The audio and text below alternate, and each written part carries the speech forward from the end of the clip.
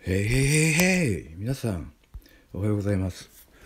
11月11日朝の4時52分ですがなんかちょっとねわからないんだけどはっきりとは言えない。俺も。ただねなんか怪しい感じがするから話しますね。えー、テザー詐欺アラート危険米国政府がテザー USDT の詐欺のために来ています。いずれにせよシャットダウンされるでしょう。テーザーがなくなると数十億ドルの流動性が失われるためビットコインとクリプト価格は大幅に暴落しますって。まあそういうこと言ってるやつらがいるのよ。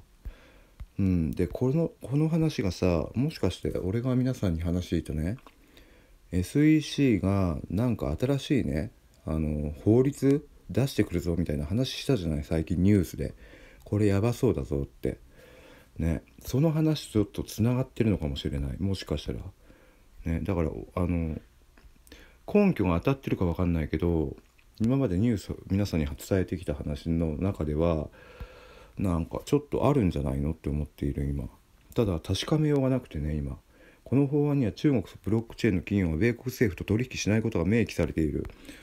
なんかこれうんあの別にデタラメでもなさそうなんだけど中国共産党がどのように暗号を使用して米国の安全と安全を損なうかについてのなんとかの研究を読むとこれをよりよく理解するのに役立ちます。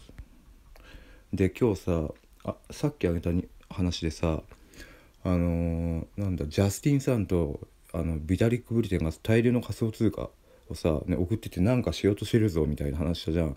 まさか売るわけじゃねえよなみたいな話。なんか買うんじゃないのかな？ちょっとわからないけどねって話したじゃない。だけど送ってることは確実だよねっていう話。ね。あのデータみたいなの見せたじゃん。ブロックチェーンなんとかってやつ。あのどっからどっかに移動してるみたいな。ね。あれがあるからそれは間違いないんだよ。だけど何かやろうとしてるんだよやつらは。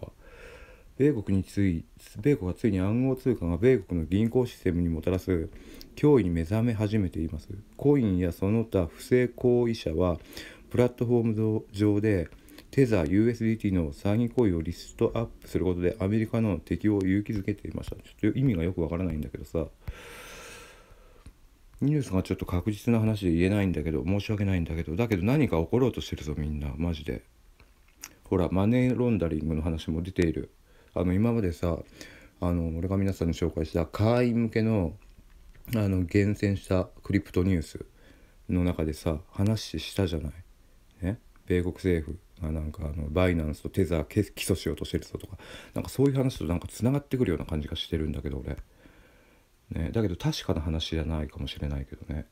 何とも言えないとこなんだけどまださあのはこれ何て言うの11日の話だからこれからなんだよ。もし何か起こるとしたらだって皆さんがまだ気づいてないからってことだねそれは。うん。全てのマネーロンダリーがもちろんのこと自分たちが支援しているポンジの主な推進者の一人を排除することを考えると彼らは皆震えていますとか、まあ、なんかよくわからないんだけどさ翻訳が。ね。でジャスティンさんのことも何かあの出てんだよここに。ただあのメディアのニュースがまだないからさはっきりとは言えないんだけどさなんか今まで話してきた皆さんに話してきたニュース今までいろいろあったけどさなんかそういうものと全部引っかかってるのよ。これサークル USDC は驚くべき速度で流出し続けており過去24時間で2億500万ドルが流出しているって。2億500万ドル？えー、テザー詐欺カクテルのメンバージャスティンさんとチャペン・チャオが逃走中。彼らは無価値な USDT を USDC と交換し続けるでしょうって書いてあるよ。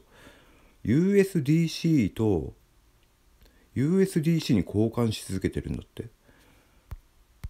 でチャートがねマーケットキャップ USDC がさ下がってんのよ。こうなんか出てんだけど。だけどさ USDC のなんかチャート見ても別に下がってないんだけどこっち。